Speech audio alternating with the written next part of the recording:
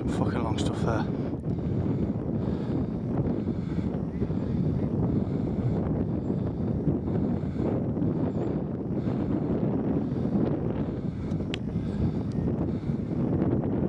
Dead.